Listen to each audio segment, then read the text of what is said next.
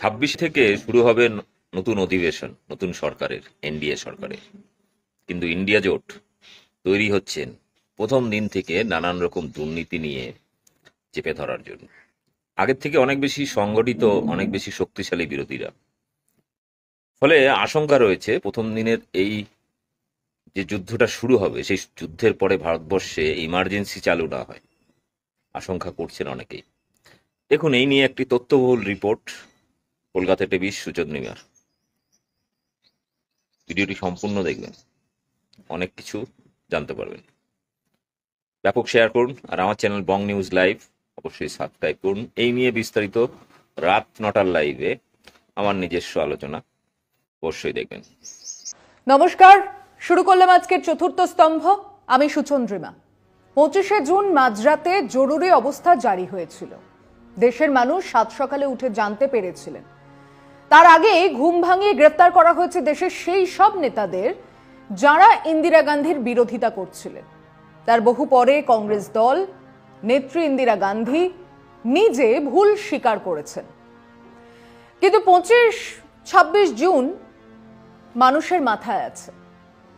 এবারে সেই পঁচিশ, ছাব্বিশ জুন সংসদে স্পিকার পদের নির্বাচন হবে এবং তা নিয়ে দেশের রাজনৈতিক মহল সরগরম। কি সরকারি পক্ষ বিজেপি বা তেলেগু দেশম জেডিইউ এলজেপি বা উল্টো দিকে কংগ্রেস থেকে সমাজবাদী দল থেকে তৃণমূল ডিএমকে এই সব দলের নেতারা ঘুঁটি সাজাচ্ছেন। কারণ এই লড়াই খুব গুরুত্বপূর্ণ। কি বিধানসভায়, কি লোকসভা বা রাজ্যসভায়, স্পিকার পদের এত গুরুত্ব কেন?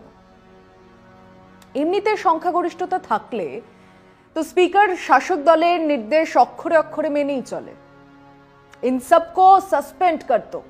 নির্দেশ গেল। পালন করলেন স্পিকার। মহুয়া মৈত্রকো বাহার নিকাল দো। পালন করেছেন স্পিকার।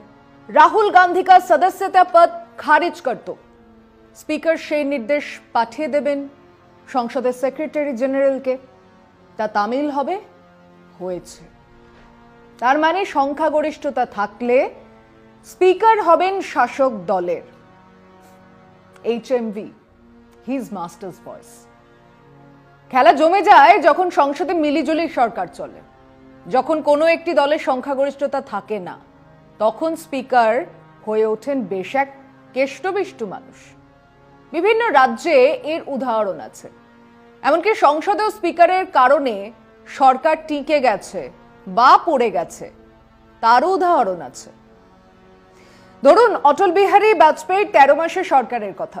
সরকার চলছিল এই তেলেগু দেশম আর ডিএমকে সমর্থনে। ডিএমকে তার সমর্থন তুলে নেয়। সরকার সংখ্যালঘু হয়েছে মনে করেই অনাস্থা প্রস্তাব আনেন বিরোধীরা। কিন্তু হিসেব চলছে এবং বোঝা যাচ্ছে যে খুব কম, সম্ভবত এক কি দুই সংসদের ভোটে সরকার টিকবে বা পড়ে যাবে। এই সময় কংগ্রেসের গিরিধর গোমাঙ্গ যিনি খোল বাজিয়ে গান করতেন। তিনি এমপি ছিলেন, কিন্তু তাকে ওড়িশার দলের মধ্যে ঝগড়া সামাল দিতেই ওড়িশার মুখ্যমন্ত্রী করা হয়। কিন্তু উনি তখনও এমপি। এটা সম্ভব। ছ মাসের মধ্যে ওনাকে একটা বিধানসভা থেকে জিতে আসতে হবে। তারপর তিনি সাংসদ সদস্য পদের থেকে পদত্যাগ করবেন। এই ছিল হিসেব। কিন্তু তিনি তখনও সাংসদ। কাজে কংগ্রেস জানালো তিনি ভোট দিতে আসবেন। কে ফাইনাল সিদ্ধান্ত নেবেন? স্পিকার। স্পিকার কে ছিলেন? স্পিকার ছিলেন তেলেগু দেশমের জি বালযোগী। তিনি সেক্রেটারি জেনারেলের কাছে আইনি সাহায্য চাইলেন। তৎকালীন সেক্রেটারি জেনারেল এস গোপালন তার পরামর্শ দিলেন। সেই পরামর্শ শুনে স্পিকার বালযোগী জানালেন হ্যাঁ গিরিধর গোমাঙ্গ ভোট দিতে পারেন। ওই একটা ভোটে সরকার পড়ে গেল। ওনার জায়গাতে যদি বিজেপির স্পিকার হতো, সরকার পড়তো না। কারণ উনি গিরিধর গোমাঙ্গকে ভোটটাই দেবার অনুমতি দিতেন না। আসছে বিরতি নিয়ে, সঙ্গে থাকুন। আবার এই স্পিকার পদ নিয়ে প্রচুর আলোচনা হয়েছে ইউপিএ ওয়ান সরকারের সময়। সম্মিলিত বিরোধী মানে বিপ্লবী সিপিআইএম এবং বিজেপি যৌথভাবেই সরকার ফেলে দিতে চায়। ছাগল ঘোড়ার মতো সাংসদের দাম চড়ছে। সংসদেও সেই টাকা দেখানো হলো। স্পিকার ছিলেন সোমনাথ চ্যাটার্জি। তিনি না শুনলেন দলের কথা, না বিরোধী সাংসদদের দেখানো ওই টাকার বস্তা। তিনি ভোটাভুটি করালেন। কংগ্রেসের নেতৃত্বে ইউপিএ সরকার টিকে গেল। সেদিন সরকার পড়ে গেলে দু হাজার চোদ্দ পর্যন্ত অপেক্ষা করতে হতো না বিজেপিকে। দু হাজার এই বিজেপির সরকার হতো। এই কারণেই স্পিকার পদ অত্যন্ত গুরুত্বপূর্ণ। আজ সেই প্রশ্নেই এসে দাঁড়িয়েছে সরকার তৈরির বিষয়টা। মানে সরকার তো হবেই, কিন্তু স্পিকার কে হবে? বাইরের বিবৃতিতে কান দেবার কোনো কারণ আছে কি? নীতিশ কুমার বা চন্দ্রবাবু নাইডুর ডিগবাজি খাবার ইতিহাস কে জানে না? এই চন্দ্রবাবু নাইডু, দেশের প্রত্যেক অবিজেপি, অকংগ্রেসি মুখ্যমন্ত্রীদের নিয়ে এক ফেডারেল জোট তৈরি করার জন্য ঘুরে বেরিয়েছেন। এ রাজ্যেও এসেছেন, মমতার সঙ্গে দেখা করেছেন। এসব তো হয়েছে। উনি সিএ, এনআরসি তীব্র বিরোধিতা করেছেন, সবাই জানে। মুসলমানদের জন্য সংরক্ষণ, জানি মোদিজির সে বিখ্যাত মন্তব্য আপনার দুটো গরুর একটা ওরা নিয়ে যাবে। মুসলমানদের জন্য সংরক্ষণ আমার জান থাকতে হবে না। জান তো আছে। চেয়ার চলে যাবার ভয়ে তিনি চুপ করে আছেন। চন্দ্রবাবু নাইডু মুসলমানদের জন্য সংরক্ষণকে সমর্থন করেছেন। তার ইস্তেহারে সে কথা লেখা আছে যে তার পরে ওনার ছেলে নারা লোকেশ এই সংরক্ষণের কথা বলেছেন। কাজে উনিও জানেন বিজেপির কাছে স্পিকার থাকলে বিজেপি দল ভাঙবে। বিভিন্ন দল ভেঙে দুশো বাহাত্তরের ওপরে যাবার চেষ্টা চালাবে। তাই স্পিকার পদের দিকে ওনার নজর আছে। নীতিশ কুমারেরও নজর আছে।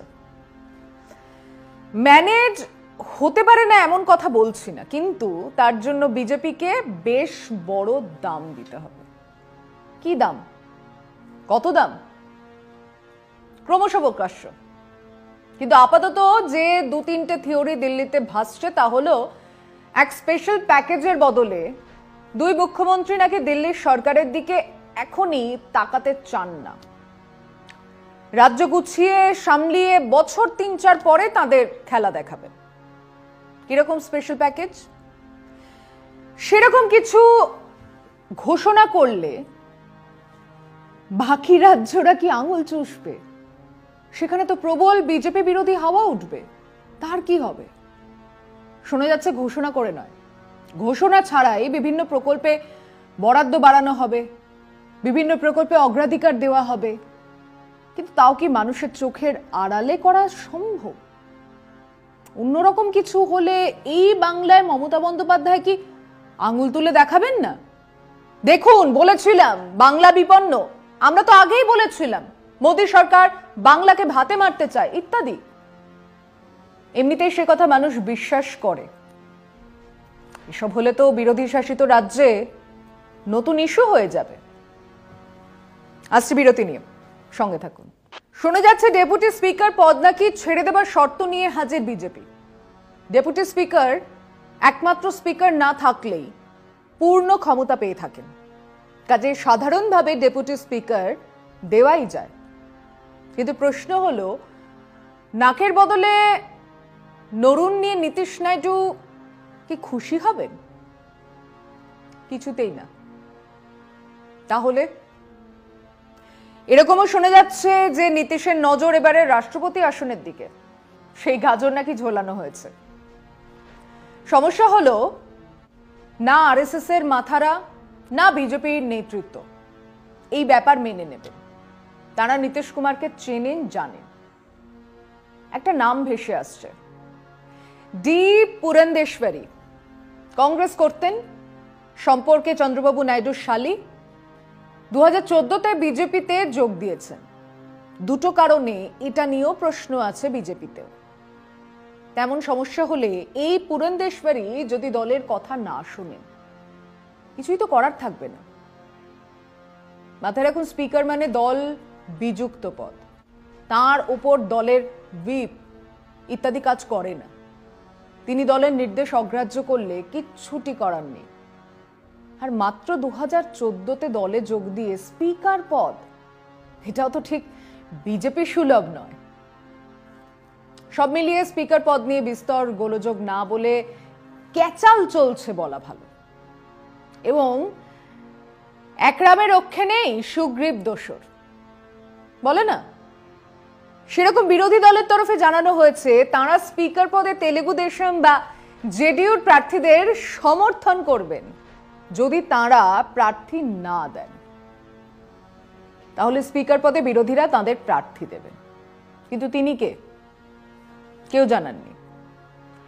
বিরোধীরা তাদের তাস লুকিয়ে রেখেছেন। এবং আমরা অবাক হয়ে দেখছি এসব সামলানোর জন্য বিজেপির অস্ত্র তো আছেই। ইডি পাঠিয়ে সিবিআই পাঠিয়ে, ধমকে চমকে সামলাতে তো পারতেন। অন্তত একটা চেষ্টা তো করতেই পারতেন। সে চেষ্টা করেননি। কেন? কারণ তাদের হাতে সেই ক্ষমতা নেই। এখনও স্পিকার পদ তাদের হাতে শিওর নয়। কাজেই তারা দম ধরে খেলছেন। অত্যন্ত জমজমাট কবাডি খেলা চলছে। দম ছাড়লেই দুম পটাশ পঁচিশ কি ছাব্বিশে জুন। আবার ভারতের ইতিহাসে আরেক নতুন অধ্যায় লিখবে। দেখা যাক। আজ এ পর্যন্তই।